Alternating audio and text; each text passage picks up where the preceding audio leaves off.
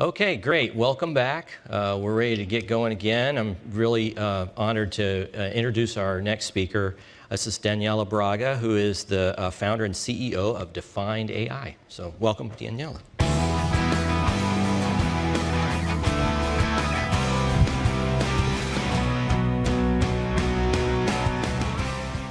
All right.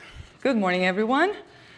So, my talk today is about um, bias in AI, which is a hot topic these days. And, and, and, and, and, the clicker. All right, all right. So, what is bias? So, bias is when algorithms uh, perform results that bring um, prejudice. And, uh, and this is very, and, and in fact, um, the dangers of that uh, are, according to um, Megan Smith, they impact, they may impact uh, anything from hiring, employment, insurance, housing, credit scores, which translates into further stereotype reinforcement of certain classes of, uh, of people or groups of people and minorities. And where does AI start? Nothing better than AI itself, an AI itself, to explain it. Uh, please meet my avatar, the synthetic version of myself. Yeah. Data is the new code in the AI era. AI is as good as the data you feed it, as you can see by the quality of my voice and my synthetic image. I am 100% synthetic, built from 500 phonetically balanced phrases and 15 minutes of video recording. My data is provided by Defined.ai and my algorithms are powered by Microsoft and Synthesia. But data occurs in different points in the pipeline, as we will see next. So data occurs, uh, so bias occurs in different points of the machine learning pipeline, as you can see, and data is uh, where everything starts. So uh, according to, uh, I'm using, uh, through this presentation, I'm using a, res a recent research study published in uh, August uh, of this year by Srinivasan and Chander that illustrates very well all the aspects of the, of, of the machine learning pipeline and where can bias be introduced. Starting with um, starting with the data part and the sampling part of the data. Uh, one of the most uh, typical examples of uh, bias in data uh, are happen in facial recognition applications. In 2018, um, a, a, researcher, uh, a researcher, Joy uh, Boulamy Winnie, an MIT researcher, published a benchmark comparing the top, the top facial recognition commercial systems, Microsoft, IBM, Facebook, and Amazon. As a matter of fact, I do encourage, and this, the whole presentation has lots of links. It's, it will be made available. Um, you, I encourage everyone to uh, go through some of, some or all the links. Uh, as a matter of fact, there's a Netflix uh, Netflix show, documentary, uh, talking about this study and everything that it, uh, all the ripple effect of it, called uh, Coded Bias, that I really encourage everyone to watch too, to uh, everyone that is really uh, into this uh, bias in AI area. So the results of this benchmark show that every commercial system performs worse, terribly worse, the darker skin, the skin uh, of, of people are.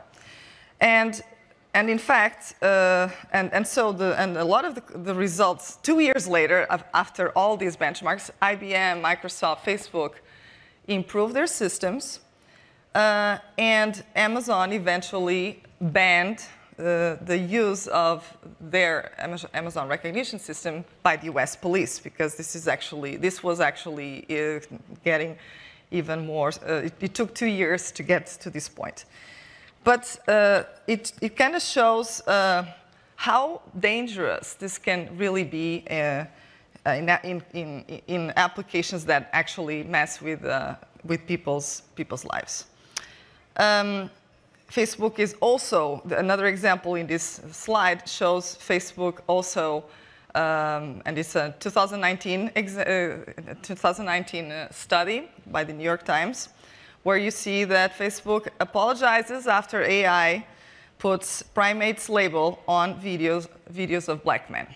Similarly, in 2015, Google search results were uh, rendering uh, black men with gorillas. Same thing. So this, this just shows how this is a data problem. And, uh, and it actually un unveils why is it a data problem? Because the way uh, commercial systems, big tech commercial systems are built, are with user, uh, are with the with um, data that comes from using uh, free available products that are traditionally used by uh, white men who have who are early adopters of technology because they have uh, more economic power and more uh, access to technology. Now, we talked about facial recognition, but let's move to voice recognition.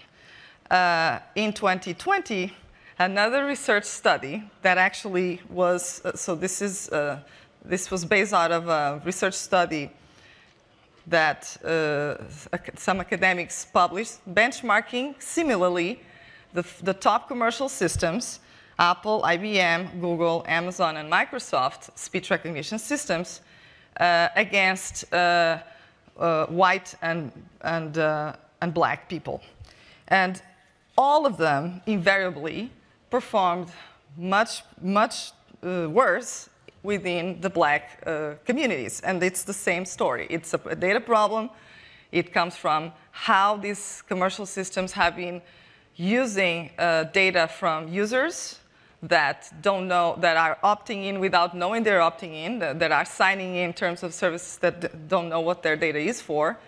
And in the end, uh, you have huge gaps of representation in, in your data uh, Speechmatics, uh, for example. So actually in the startup world, you see much more, you see a different approach. You see Speechmatics uh, uh, showing the opposite, saying we do perform better.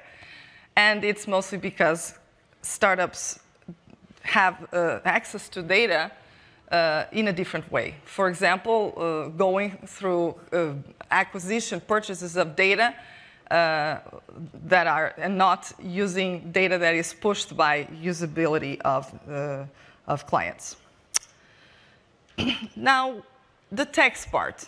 Text, natural language processing, is also affected by bias in AI. Uh, Emily Bender is a Washington uh, University professor, very renowned, and she's explaining that not always a large data set is a good data set. And in text, in natural language processing, uh, the, the, uh, the, the, numbers, the, the, amount of numbers is important. You got to have large data sets. But oftentimes, what researchers do and uh, data scientists do is scraping the web, which again, the scraping of the available source, sources are Wikipedia, Reddit, and um, Twitter. And again, very misrepresented represented by uh, women and LGTB communities. So same problem happens in NLP. And, uh, and, and again, a lot of these co the consequences in are uh, especially in hate speech, violent speech, and, and so on.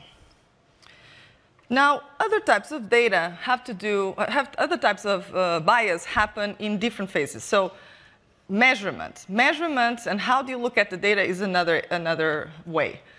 Uh, in this example, uh, we talk about healthcare system.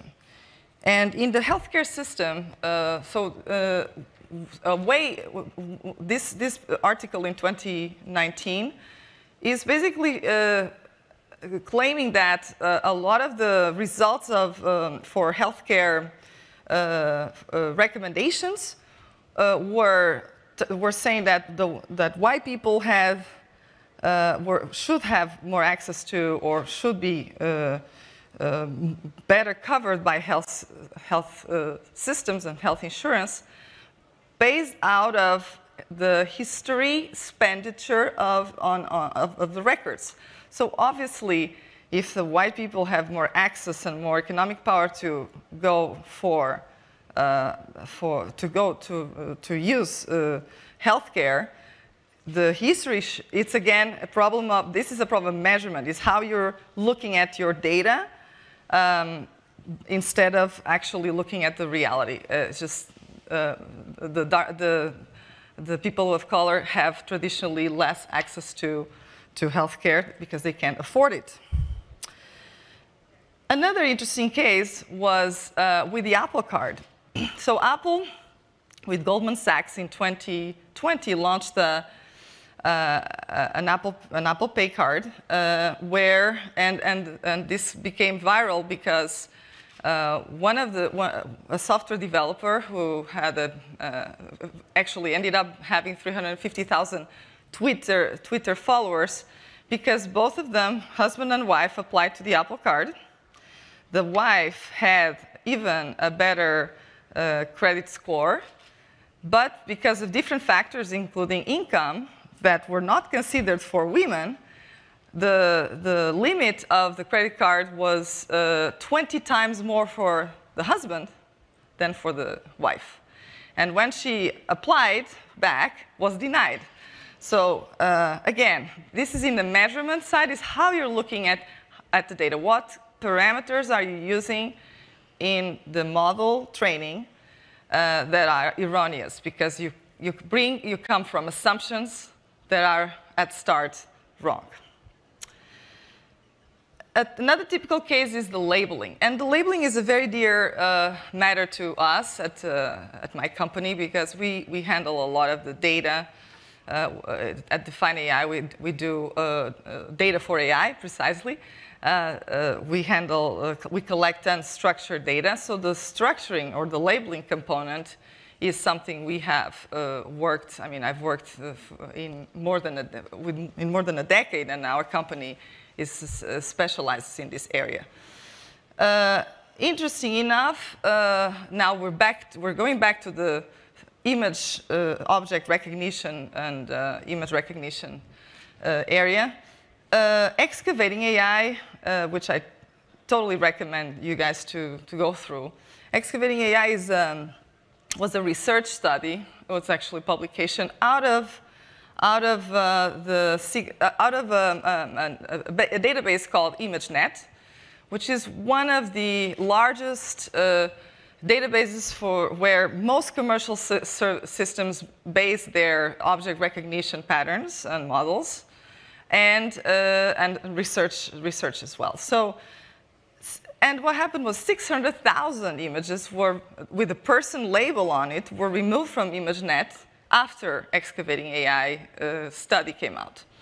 And the reason why was that, the, again, the way uh, the database is being, and it's an open source and re academic resource, has been built, is being, is being built with uh, Mechanical Turk uh, labelers, which for, for those who don't know what it is, it's an Amazon platform that uh, crowdsources uh, labeling, but with, uh, with a very, with, with, the way it is set up is really hard to, to get quality and, and spam detection and fraud detection. So you end up with tags, which is what the um, what, what you can see here in the highlights, and you can probably see, but you, can, you will have access to these, uh, tags uh, associating completely, associating uh, girls in bikini to sluts, associating children with sunglasses to losers, and, and the list goes on and on. So with all of, uh, so that's, that's why 600,000 uh, images were removed, but this data is still within most of our commercials, the commercial uh, services that are out there in object recognition. Another example is the negative uh, set bias, and, um, and, and the good example for this is uh, the Amazon hiring uh, model. Uh, Amazon with hiring so many people. And it's actually not just Amazon. It turns out that Amazon is in the spotlight all the time. Everybody, everybody that is developing HR uh, systems, and this is why HR is one of the areas that organizations like Responsible AI is looking into, uh, financial services, healthcare, and HR, because it, it uh, touches uh, employability for people. So uh, when Amazon is, was scraping, um, when was scraping the, uh, their resumes that they were uh, using, and, and in comparison to the criteria that they were looking for, uh, had a huge bias against women. And the reason here is, is not, is, is a design problem, and it's the, the lack of data there, because traditionally, as we all know, uh, tech, the tech sector is highly male dominated. So it's again how you design your model and what do you do when there's no data. Uh, it's, it's, and we have some recommendations in the end, but what, when you don't have data, uh, there's synthetic data that can be forged, or you just have to wait until there's data. That's, that's the, the danger of building systems with such negative uh, false representation of the data.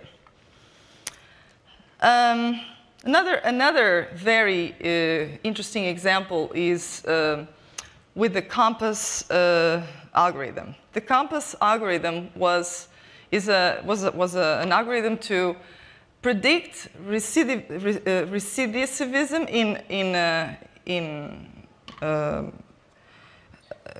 in going back to jail.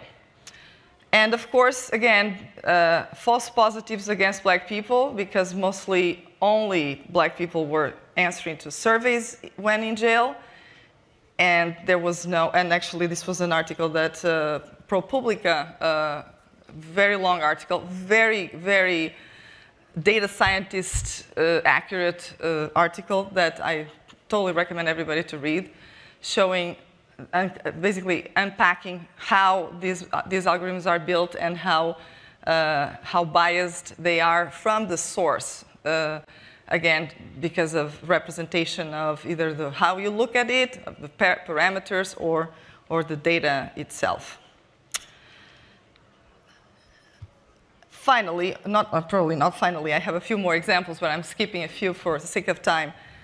One uh, very interesting case, uh, the search results and how, how search results are affected by, by, by, bias in, uh, in the algorithms. In, uh, so Safiya Noble, it's another uh, another author that I totally recommend you guys to read and to uh, search TED Talks uh, and her book, Algorithms of Oppression. She starts, well, in 2015, she un unveils, um, this, this, this book came out in 2017, but it, it's, the, it's, the, it's six years of work looking at search results at Google that suddenly became uh, the replacement of libraries. It's the source of knowledge uh, today. And what happened is that uh, when, and because she had the cause of the, of, of, the, of the bias, when you would type black girls, every result or suggestion, which the, you kind of see it a little bit in the background, would come out with derogative uh, uh, recommendations. It's actually not just for the black girls, it's Asian girls, it's any ethnic girls that are not white. You see uh, anything related to pornography or derogative. So Google fixed it after this book, fix this part, but it goes everywhere. It's just, it's just, just to see that, uh, unfortunately, we, keep, we have to keep all these uh, com commercial systems on check, especially when they affect so many people uh, and so many people's knowledge. Another interesting one in the algorithmic bias, influencing uh, in algorithmic bias is, is uh, and this is at the level of the um, uh, analysis and data analysis, is what happened in 2010 and 2012, and, uh, and I'm sure some of you remember this case, where uh, Facebook result, Facebook um, impacted the results and the outcomes of elections. And this happened with, with the fact that humans are humans have a tendency to imitate the people they, to imitate other humans. Humans imitate other humans. And in Facebook, in social networks, when you see your friends saying, I voted, or I got vaccinated, you have a tendency to follow. So this actually impacted 61 million extra voters that were not expected to come to the, to the elections and change the results of the elections. This is how, uh, this is the power of social media. Um, and I think I'm going to skip a few more examples. And, and, the testing part is actually it's the final one. It's a, a, I don't have a good example, but uh, anyone who works with, in data science and in machine learning knows that the way you test your models is very, I mean, start, whenever you have a, a benchmark or a result of your model, you always have to question, how did you test it? And it's, it's something about, it's just saying my, my model is better than Y or Z. It, it comes down to the, to the test set. And the test set, again, goes back to the beginning. What, how is the test set representing the demographics or the, uh, or the data population that you're looking at? Now, recommendations. I have a few here. The first recommendation has to do with, um, uh, I'm sorry, am I on the right one? Yes. Has to do with uh, not, we should not, it, has, it goes back to when there's not enough representation of data because you cannot uh, replace, you cannot fake uh, um, women's credit scores because they have there's not enough history on that, or because there's not enough women in tech uh, uh, features on it. So if you can't, if there's not enough in the world, we have to, we should wait. We should wait before we model anything. That's that's honestly what I think. And the other, uh, and but if we can replace the, the gaps with synthetic data, Actually, there's a Gartner study that I have a little bit down the list that shows that in 2030, most of the AI will be trained by synthetic data. Then synthetic data is actually on the rise. And I, huge fan of synthetic data. Uh, on our human-computer interaction field, it's really rising. There's still a lot of resistance from a lot of data scientists, but I, I think this is a great way to, to um, to uh, fill the gaps when data just doesn't exist. The second thing is, since everything starts in, the, in data, we should create more marketplaces of trusted uh, data sources, with trusted data sources. Uh, I also have a number of marketplaces examples that we have out there. Uh, Snowflake, Kaggle, uh, we have our own, and more and more uh, in different segments of, of AI uh, are coming up, and marketplaces uh, where community vet the data sets there, and, and it's just not, a bi- again, not a biased way of putting them there, is, is, a, is what we see uh, as a trend. Uh, the other thing is about international standards for data uh, and for uh, and, to, and for unbiased data sets. Uh, it's a very hard thing to do. Uh, it's it's a very hard thing to do, but it's not impossible. We do it every day in, at Defined AI when we create test sets or training sets for clients, and and actually it it makes it much more targeted and accurate and, and shorter. Um, governance. The governance goes in two ways. Uh, the people who produce data or touch the data part should not be training the models. Because it's very easy that the people who are modeling are already influenced or biased towards what type of data they should get. So we should have a separation, almost a, a checks and balances between the people building and building the data and building the models. And uh, like our uh, the, the, former uh, presenter was talking about, diverse teams. It's obvious that if you have a non-diverse, a very homogeneous team, you, you will only have one way of looking at the reality you're trying to predict. So diverse teams are absolutely mandatory. And, uh, but again, the numbers don't help. I have numbers down where you still see 5% of women in AI doing PhDs these days. Uh, this is uh, so this is just uh, uh, extra extra slides. I am pretty much done. I wanna I wanna thank your for your attention. Open for questions. Saying that I have some colleagues here in the audience that can also help answering more questions, and we have five minutes. Thank you. Thank you, Daniela. Do we have questions? Anyone have a question? Would like to come up to the microphone? No? I have one for you while we're waiting for a second. I- Absolutely. Do you, you, you, you know, are there solutions in the market that you would suggest, you know, can help folks when they're looking at biases? You, you talked about syntax, you, a lot of different things you talked about, but would you say is there a way to go buy something to help, you know? Is that uh, what I was going to say? I have lots of resources here in each section of the recommendations. It, there is, it- the, the problem here is that it's, the, the knowledge is very dispersed, and, it's, and if you're starting in this field, it's hard to navigate it. So this is a good start, honestly. Uh, and, and also a good start is to look at some of these organizations that I mentioned here that are independent, nonprofit, uh, that are non-commercial, that are not the big tech. Uh, I'm sorry, where are they? And they're not here. I'm back and forth on this. They are in your presentation. They are in my presentation, uh, and and open start. Uh, that was it was that. So uh, all of these United the the national no responsible AI yes. Um, uh, these are the open questions. Mm, I'm sorry. Where is it? There's two, responsible AI is one of them.